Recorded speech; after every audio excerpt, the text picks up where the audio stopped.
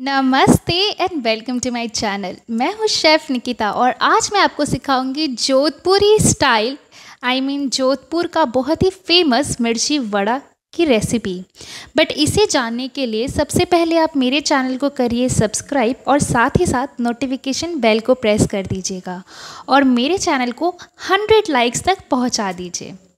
सबसे पहले हम एक बोल लेंगे और उसमें डालेंगे डेढ़ कप बेसन और इसे पानी डाल के बहुत अच्छा सा घोल बनाएँगे। आप देख सकते हैं इसकी कंसिस्टेंसी कुछ ऐसा ही। उसके बाद इसमें हम डालेंगे नमक, स्वाद अनुसार हल्दी पाउडर करीबन हाफ़ टेबल स्पून साथ ही साथ red chilli powder half tablespoon baking soda बहुत ही थोड़ा सा और साथ ही साथ हम अजवाइन को हाथों से क्रश करके इसमें डाल देंगे और फिर इसे मिक्स कर लेंगे। और हमारा बेसन का बैटर बन के बिल्कुल ही तैयार है, इसे हम साइड कर देंगे। उसके बाद हम एक नॉन स्टिक पैन लेंगे और इसमें डालेंगे करीबन एक चम्मच ऑयल और इसमें डालेंगे हींग पाउडर और इसे हम थोड़ी देर तक लाइक कुछ सेकेंड्स तक पकने देंगे। उसके बाद इसमें हम डालेंगे अदरक कद्दूकस किया हुआ। मैंने यहाँ पे दो इंच अदरक को कद्दूकस किया हुआ है। और इसे थोड़ा सा सॉटे करेंगे, उसके बाद इसमें हम डालेंगे हरा मिर्च और उसे भी अच्छे से चला के कुछ देर तक सॉटे कर लेंगे। फिर हम डालेंगे एक चम्मच जीरा। ये नॉर्मल ज़ीरा है, शाही ज़ीरा भी आप यूज़ कर सकते हैं। और इसे सॉटे करने के बाद इसमें हम डालेंगे बॉइल्ड मैश्ड पटेटोज़ अगर आपकी मिर्ची का क्वांटिटी सिक्स है तो आप सिक्स पटेटोज़ यूज़ करें। अगर आपकी मिर्ची की क्वांटिटीज़ ट्वेल्व है तो आप ट्वेल्व पटेटोज़ यूज़ करें। सो जितनी मिर्ची है, उतनी पटेटोज़ आप यूज़ करेंगे। और इसे हम कुछ इस तरीके से मिक्स कर लेंगे अदरक और मिर्ची के साथ प्रॉपर तरीके से। प्रॉपर तरीके से मिक्स करने के बाद इसमें हम डालेंगे दो चम्मच हल्दी पाउडर साथ ही साथ एक चम्मच जीरा पाउडर चार चम्मच धनिया पाउडर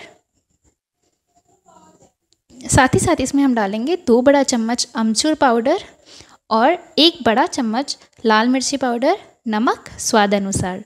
उसके बाद इसे हम प्रॉपर तरीके से मिक्स कर लेंगे। लास्ट में हम डालेंगे गरम मसाला दो से तीन चम्मच, जिससे इसमें थोड़ा तीखापन आए। और उसके बाद इसके अंदर डालेंगे धनिया पत्ता चॉप किया हुआ। उसके बाद इसे हम मिक्स कर लेंगे। मिक्स करने के बाद हमारा आलू भी बन के बिल्कुल ही तैयार है। ये हमारा दोनों ही तैयार है। अब आते हैं मिर्ची की तरफ़। मिर्ची को हम बीच से स्लेट कर लेंगे कुछ इस तरीके से। और उसके बाद इसके अंदर का जो भी बीज है, वो हम छोटे चाकू की मदद से निकाल लेंगे। अगर आपका मिर्ची थोड़ा सा ज़्यादा अगर क्रैक हो जा रहा है या कुछ भी हो जा रहा है तो आप बिल्कुल भी टेंशन ना लें, क्योंकि इसके अंदर हम आलू फील करने वाले हैं और उसके आलू से कवर करके बेसन में लपेट के छानने वाले हैं। तो मिर्ची अगर हल्का सा भी थोड़ा सा इधर से फट जा रहा है, ये बीज निकालते टाइम तो कोई टेंशन की बात नहीं है। ये बिल्कुल ही नॉर्मल है। और बस इसी तरीके से हम सारे मिर्ची के बीज निकाल लेंगे। उसके बाद इसके अंदर हम आलू फिल करेंगे कुछ इस तरीके से। प्रॉपर तरीके से अंदर में आलू फिल करने के बाद हम बाहर से भी आलू को कवर कर देंगे। कुछ इस तरीके से हाथों की मदद से हम आलू से इसे कवर कर देंगे।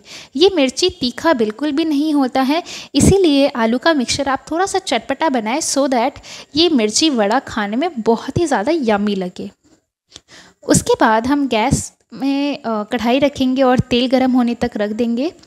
उधर तेल गरम हो चुका है तब इस आ, मिर्ची वड़ा को हम बेसन में आ, कुछ इस तरीके से डिप कर देंगे और चारों ओर से इसे कवर कर देंगे बेसन बैटर के साथ। और फिर तेल में हम मिर्ची वड़ा डाल देंगे फ्राई होने के लिए।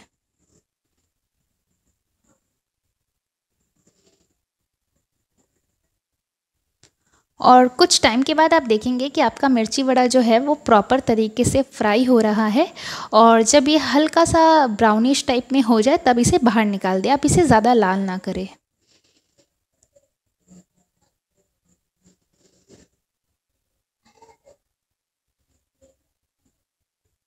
और उसके बाद आप इसे वही वापस निकाल दें और आप देखेंगे कि कुछ ही सेकेंड्स में तेल पूरा निकल जाएगा और आप इसे एक टिश्यू पेपर के ऊपर निकाल दें।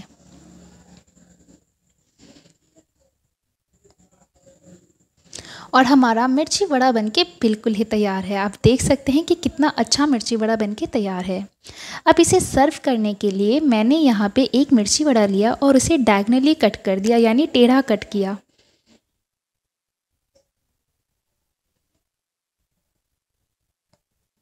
और आप देख सकते हैं ये मिर्ची वड़ा कितना ही ज़्यादा परफेक्ट बन के तैयार है। गाइस अगर आपको मेरा ये रेसिपी अच्छा लगा तो अभी मेरे चैनल को सब्सक्राइब कर लीजिए। और इस तरीके से मैंने कुछ और मिर्ची वड़ा को काट दिया है। इसके बाद इसे हम प्लेटिंग करेंगे।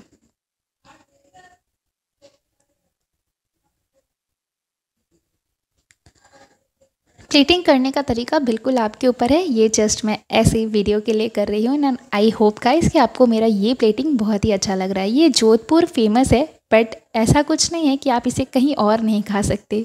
ये बहुत ही टेस्टी बहुत ही डिलीशियस और बहुत ही यमी है।